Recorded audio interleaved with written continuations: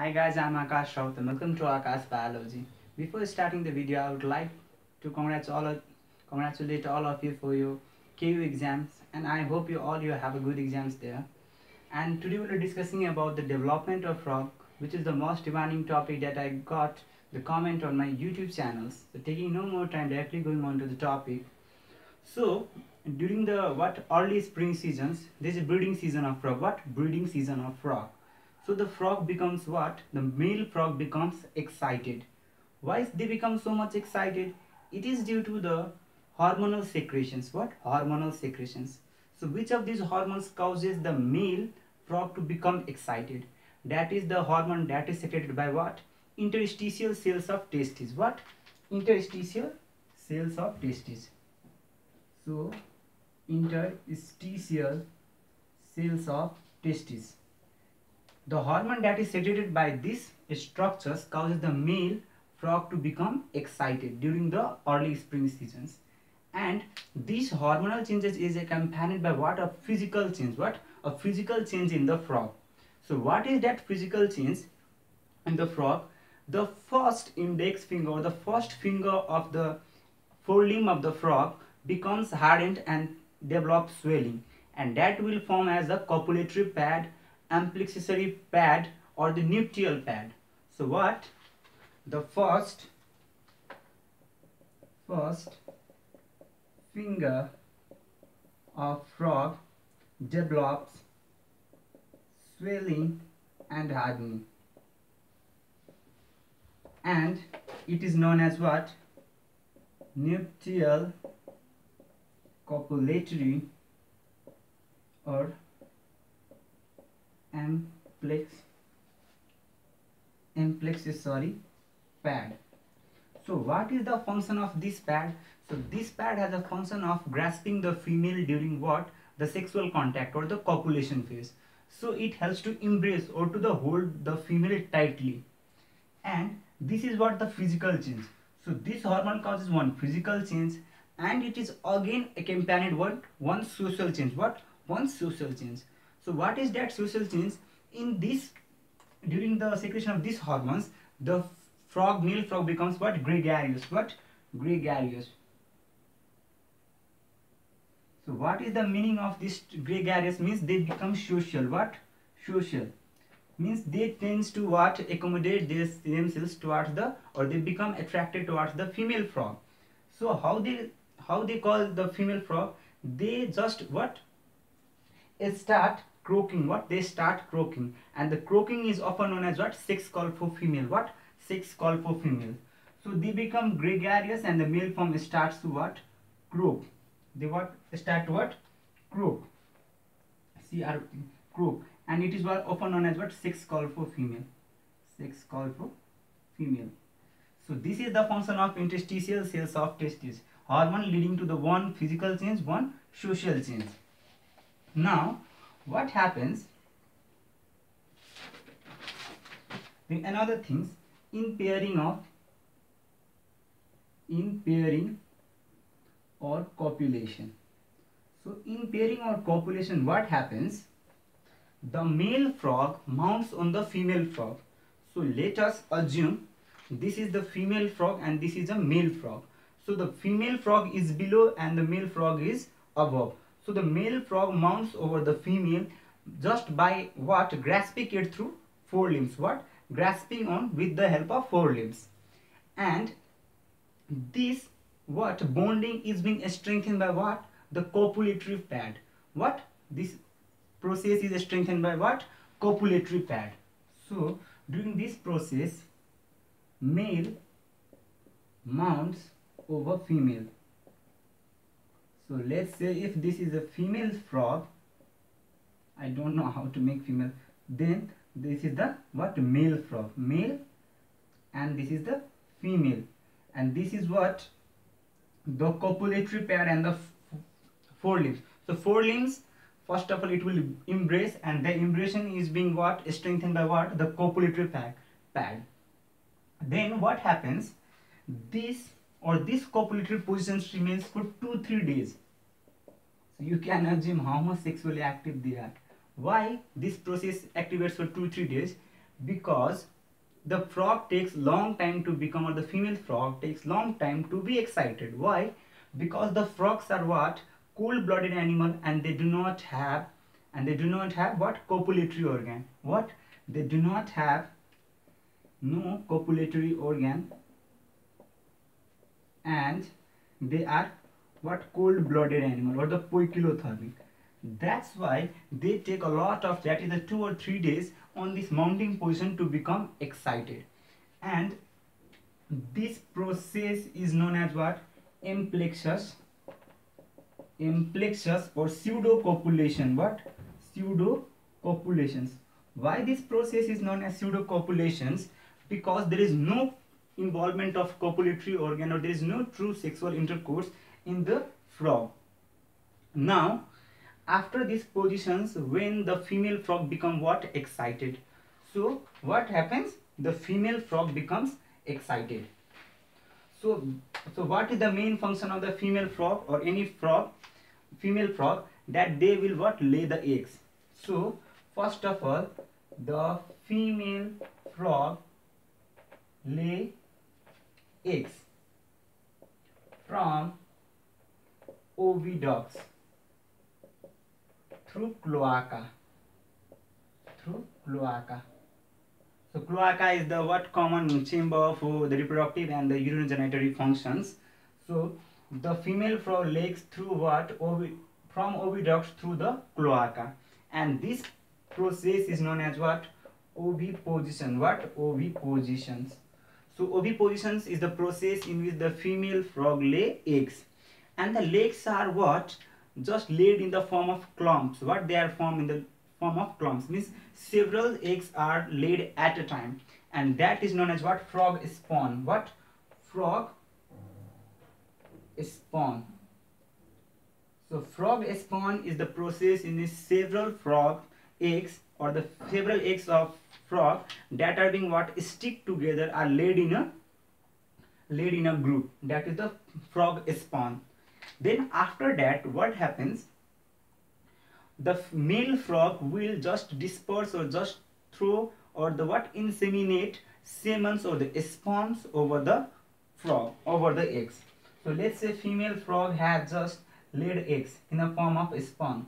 Now the what is the function of the male so male will what? Sprinkle the sperm on the surface of ovum. That is what? Male sprinkle sperm over eggs. And that process is known as what? Insemination what? Inseminations. So we can see oviposition is being accompanied by what? Inseminations. Now they will both form what? A clump or jelly like structure that will protect the egg from what? Sinking infections and from other any harmful bacteria but they will form a jelly like structures. So this is about the copulation of frog now we will go into the structure of we will go into the structure of egg so we have known about the eggs of frog so the egg of frog is telesolecythal and the mesolecithals that I have dealt about what is centrolecithal, isolecithal, homolecithal, heterolecithal in my video of ovum and its structure. So I will only be dealing about the main things of the frog. So the egg of frog is what is telesolecythal and mesolecithal. Mesolecithal means they contains moderate amount of yolk. Moderate amount of yolk whereas telesolecythal means the yolk is concentrated at one center what yolk is concentrated at one center to one center now so this is the what telesolecythal and uh, mesolecithal this is mainly asked in entrance examinations. Now i will be what? Dealing about the structure of the egg of frog so let's say this is the ovum. Next to the ovum there is another membrane. Now above it there is another membrane. Now inside the ovum there are two areas. So over here there is what nucleus. This is i am drawing the figure of unfertilized egg. And there is what? One structure over here. So i will just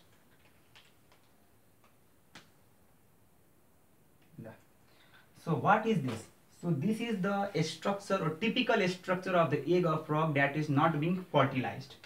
So the internal one is the ovum. What ovum? So this is what ovum. So we can see a clear demarcations over here. So this is the reason over what the cytoplasm is being present along with the nucleus. So this is nucleus and this is what cytoplasm and this white area is known as what? Yolk. What? Yolk. So we can see what? The yolk is concentrated at one end. That's why it is what? Telesolecythal area. And this area is known as what? Vegetal pole what? Vegetal pole because this area is white in color not being pigmented. But over here it is a dark in color due to the presence of cytoplasm. And why it is dark in color? Due to the presence of which pigment? Melanin pigment. What melanin pigment. So melanin pigment causes this part or to be dark in color, dark color. And this part is known as what? Animal pole. What? Animal pole. Why animal pole? Because the head region or the organ region starts from this in during the process of embryogenesis. So animal pole is that region where the cytoplasm and nucleus is being concentrated and is dark in color due to the presence of melanin pigment. Whereas the yolk is concentrated at another end. That's why it is this part is a bit heavy. What? This part is heavy. That's why it will sink in water. It will remain above of water. And it is white in color. Now this is the plasma membrane of ovum. And we can see this is what another this is known as vitelline membrane membrane. And the space between what? The plasma membrane of ovum and the vitelline membrane is known as what? The perivitelline space. Perivitelline space. And outermost to it we can see this structure but this structure that is a quite thick thick this is known as what? Albumin. What? Albumin so what is the function of albumin? It, it absorbs water, becomes swelled up and protects the egg from infections. Protect the egg from infections and leads to what? Buoyancy. That's why the egg will float in water. Now, another thing that we have to, this is what the first polar body. What? This is what? First polar body. Now you all being what wondering what is first polar body that's why you have to see my video on oogenesis then you can know. So but i will tell you the thing what is first polar body. So the oocyte first of all oocyte of primordial cell follicle will what? Undergo the cell division what? Cell division. So after going cell division the two daughter oocytes are formed. So one with so both contains equal genetic material that is the nucleus but the cytoplasm is not being divided equally so one which will get more cytoplasm will become the ovum another that will sacrifice cytoplasm or do not have cytoplasm become the first polar body. So it is what in the secondary oocyte stage. What? Secondary oocyte stage. So again you may be asked in which stage the egg is being seed in the frog or the female frog. It is what the secondary oocyte stage. Now we will deal what the copulation has taken place. What? The copulation has taken place. So we can see this is what the clear demarcation, dark area, white area. So the sperm, where the sperm will hit the ovum. Now I will dealing what the egg covering. What? Sorry, egg covering. You might be what? Just wondering what I am saying. So egg covering, you must know about the egg covering. So the egg covering means the primary covering, secondary and the tertiary. So primary covering are those coverings that is being secreted by the ovum itself. What? The secreted by ovum itself. Secreted by ovum itself so that is what the plasma membrane that is often known as the inner vitelline membrane. What? Inner vitelline membrane. Vitelline membrane. What is the secondary means? It must not be present in the ovum it is being secreted by the developing follicle that you can know in the my oogenesis video. So that is being secondary means secreted by follicle. That is none other than what the chorion of insect and zona pellucida in the case of human egg pellucida tertiary means secreted by by female genital tract what female genital tract that is none other than what the cledonic egg what egg cell egg cell so these are the covering that you must be asked in the entrance examination questions. What is primary example, secondary, along with its example and tertiary. Now we're dealing about what the fertilization. What fertilizations. So we have known. So this is the female. This is the ovum, and this is the clear demarcations. This is the primary cell burst. This is the nucleus. Then this is the inner vitelline membrane, outer vitelline membrane. Inner is often known as plasma membrane. So the sperm will this is the sperm and sperm head. So the sperm will become in contact with the ovum at a site. That is above the what? Equatorial region. This is known as what? Equatorial region. What? This is the clear demarcation between the animal pole and the vegetal pole. So at the site where the sperm touches the ovum there occurs what? A cone of reception. Means the structure of the ovum becomes a bit elevated and this will give a signal to sperm so often known as cone of receptions. A papilla like elevated structure that is developed on the surface of ovum and it will what? Act as a receptor for the sperm so this site will perform the fertilization what? Fertilizations. After the both part what? They will react. So you must be asked where does the fertilization takes place? It occurs in the animal pole at the line just above the equatorial line. Now, as the sperm will go just become fertilized, the second what the second meiotic divisions normally the ovum in the secondary oocyte stage is being arrested at which phase? The metaphase.